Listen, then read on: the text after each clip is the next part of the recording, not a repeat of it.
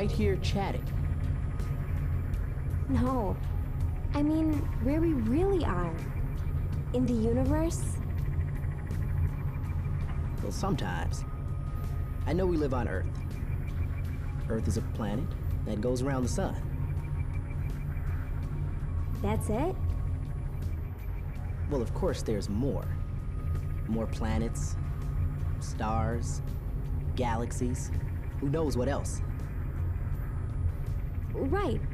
That's what I mean. There's so much I'd like to know. I wish we could explore like Columbus, but in a spaceship. Me too. Like the moon. Maybe Mars. And beyond. Beyond what? Beyond Pluto. Leave the solar system.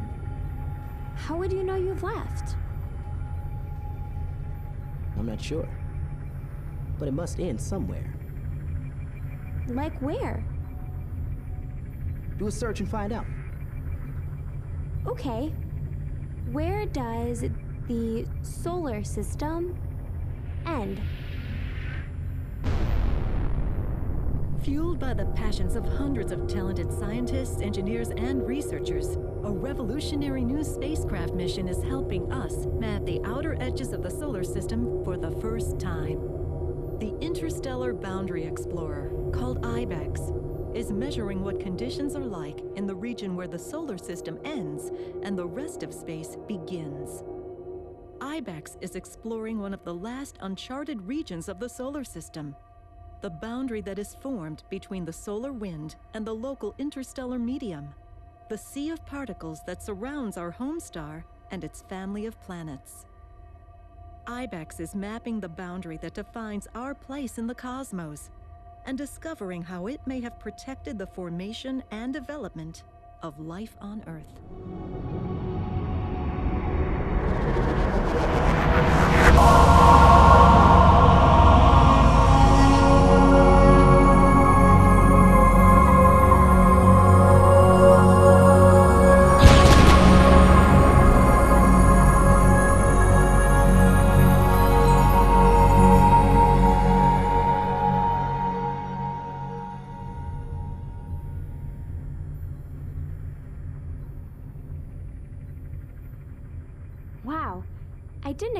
That answer.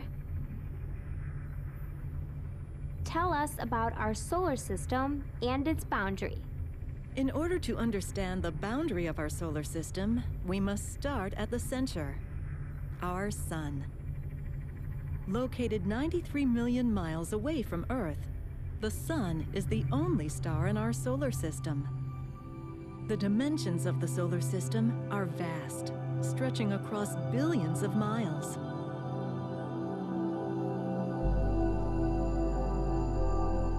The solar system is the Sun and its family of planets, and countless small bodies like asteroids, dwarf planets, and comets, all held by gravity in orbit around the Sun. Everything in the Sun's family slowly orbits the Sun.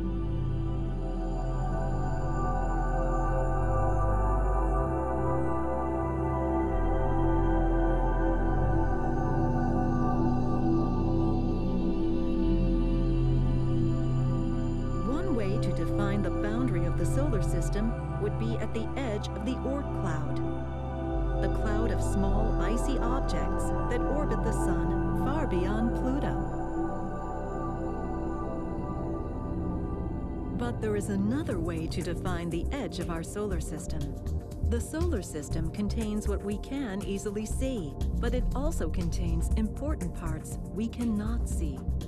Every second, our star produces a wind of particles streaming away from its surface and pushing out beyond the planets toward deep space.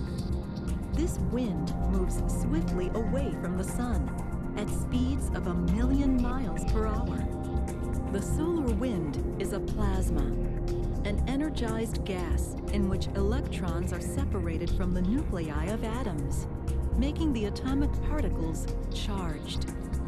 These charged particles attract and repel one another, and as they move, they carry magnetic fields and currents that flow along with them through the solar system. The interaction of the solar wind plasma with the Earth's magnetic field causes beautiful displays of northern lights.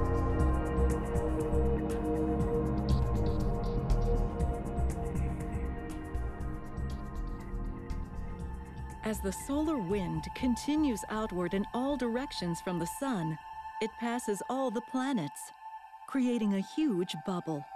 This solar wind bubble pushes into thin clouds of other particles beyond our solar system that are flowing in the region between the stars. These clouds of flowing particles are called the interstellar medium. The outer edge of the solar wind bubble defines a boundary between our sun's sphere of influence and the rest of the galaxy. Astronomers refer to this bubble as the heliosphere.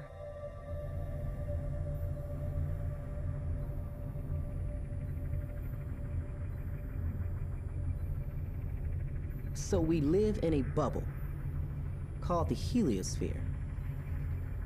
The sun and the planets are inside that bubble. What is outside of the heliosphere? What about the stars? In order to reach even the closest stars, we would have to cross the solar system boundary. The Sun and approximately 200 billion other stars and gaseous regions called nebulae move along large orbits in a cosmic journey around the center of the Milky Way, our galaxy. Just like all other stars in the galaxy's flattened disk, the Sun slowly orbits the center of the galaxy, like a horse on a merry-go-round, taking about 250 million years to go around once, gently bobbing up and down through the disk. As our solar system travels through different parts of the Milky Way, the heliosphere's shape and size keep changing. The heliosphere protects us like a cocoon as the sun and its planets travel through the Milky Way.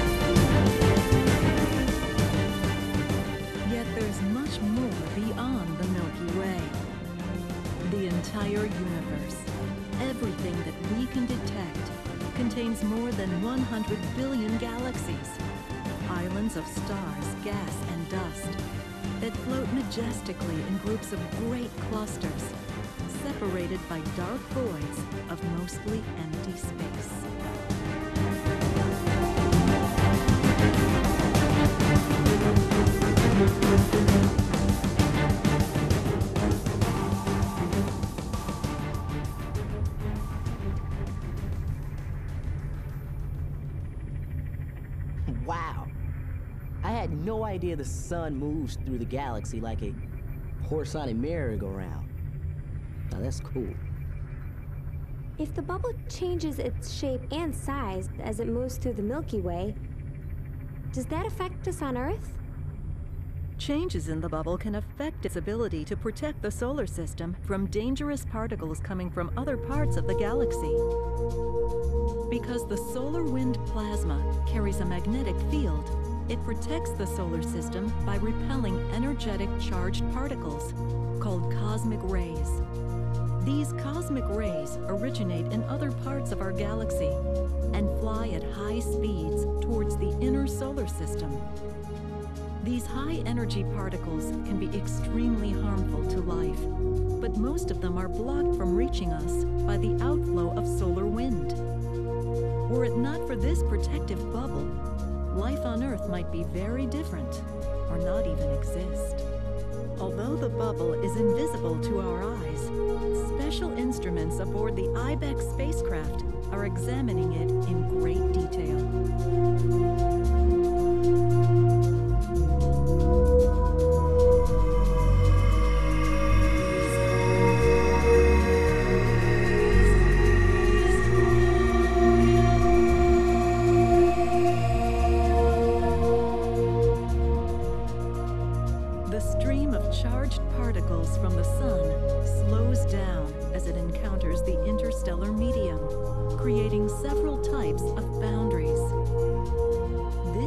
of boundaries defines the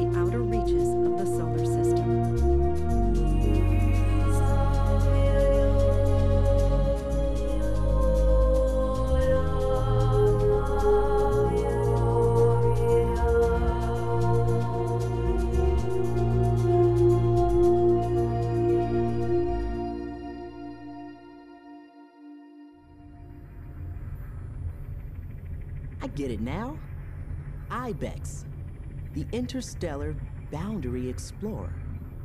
Dave McComas, principal investigator for the IBEX mission. My team was inspired to pursue this mission by the scientific questions we can answer. This mission gives us the chance to explore one of the last unexplored frontiers and to try to solve the mystery of what it is like at the edge of our solar system. I can hardly convey how ecstatic my whole team was when the call came from NASA that we, we had been selected. As IBEX operates, it is opening a new dimension of exploration and discovery beyond the planets. The focus of the new mission is understanding the solar system's boundaries, what causes them, how they change over time, and what they mean for the future of exploring our solar system. Thinking about our place in the universe and our galaxy, I see us as living in this protective bubble of solar wind. The heliosphere, this bubble, protects us from harmful radiation that would otherwise bombard us from beyond the solar system. There are unseen dangers lurking out there, and we need to understand them. In order to do that, the team had to find a way to see the invisible boundary. The images that IBEX makes helps us understand how this region protects us from harmful radiation.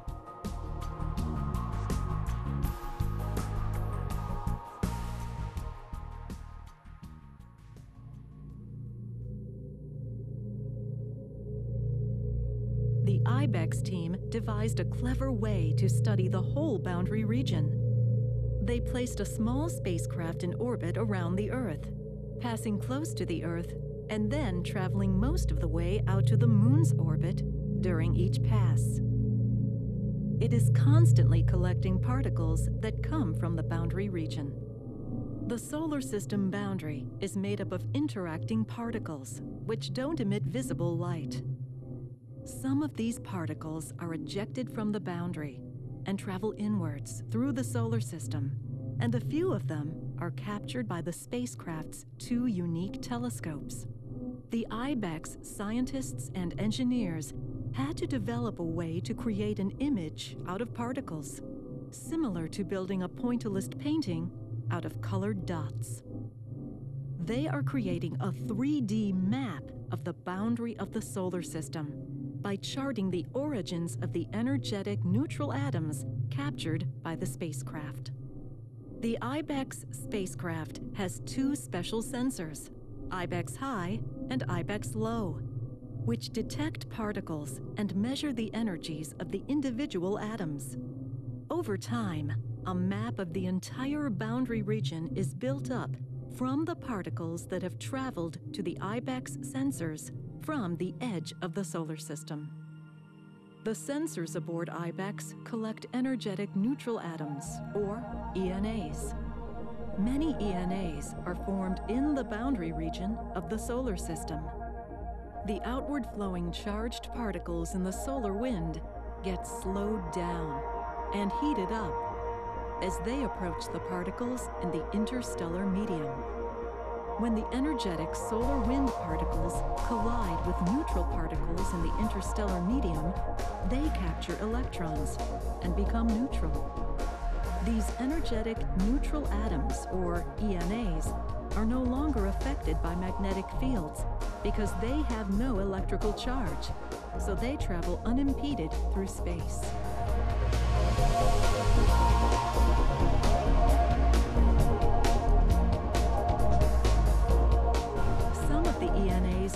Back in towards Earth and are detected by the IBEX spacecraft.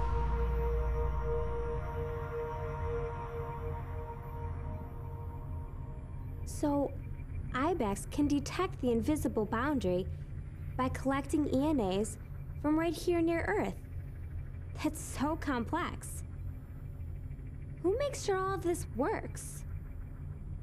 How does IBEX communicate with Earth?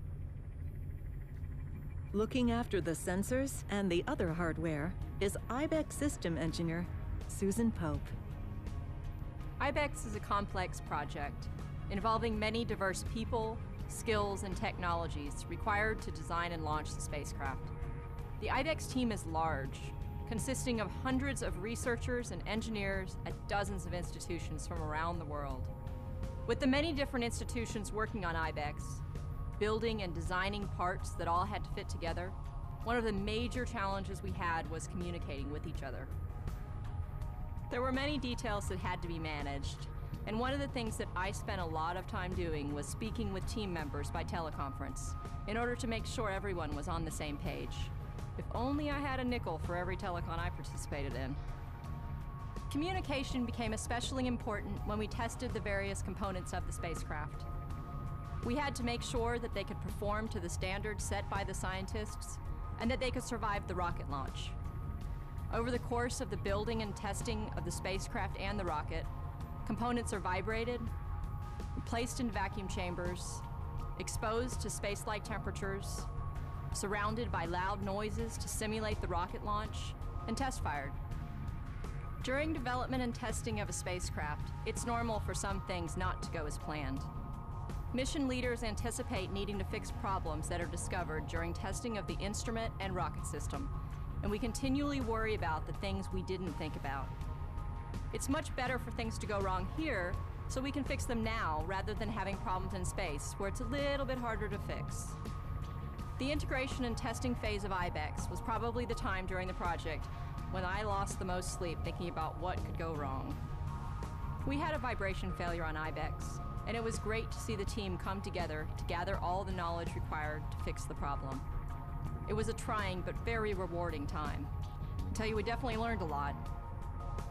By working carefully with mission project managers and engineers, the team is able to make sure they have the best spacecraft and instruments possible on launch day. IBEX was launched in the fall of 2008 from Kwajalein, a remote island far out in the South Pacific.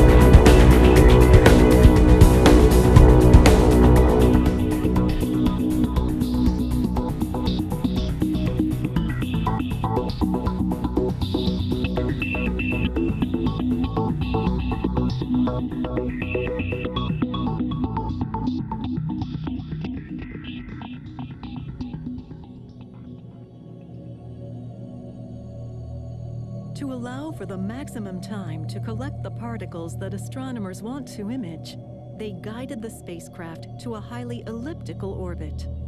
During each eight day orbit, IBEX communicates with scientists back on Earth during the times when it is closest to the ground and inside the Earth's magnetic field.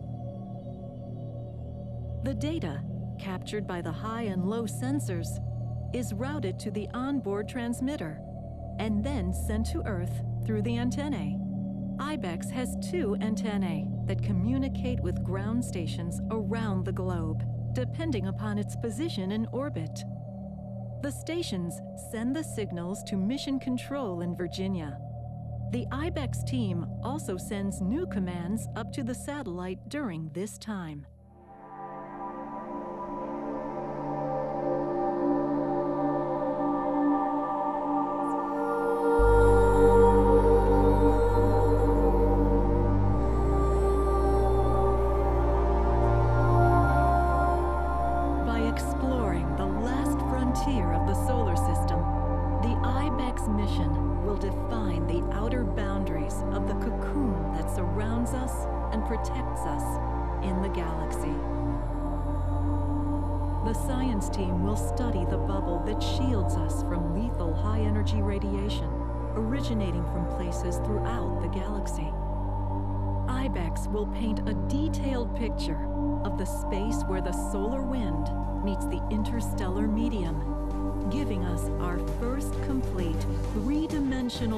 Of our home in the galaxy.